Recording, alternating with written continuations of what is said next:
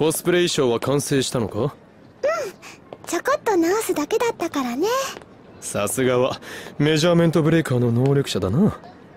そこまで正確にサイズを感知できるとは。俺のサイズもお見通しだとしたらうかうかできんな。うん。だからねオカリンやダルくんのコスプレ衣装も実は作ってあるんだよ。すでに遅かったか。いつか来てくれるとマユシーはとっても嬉しいのです。この競技のマッドサイエンティストがコスプレなどありえんな。とっても似合うと思うんだけどな。一度着ればクリスちゃんみたいにきっと好きになってくれるのです。そういえば衣装はクリスティーナがホテルに持って帰ったようだが。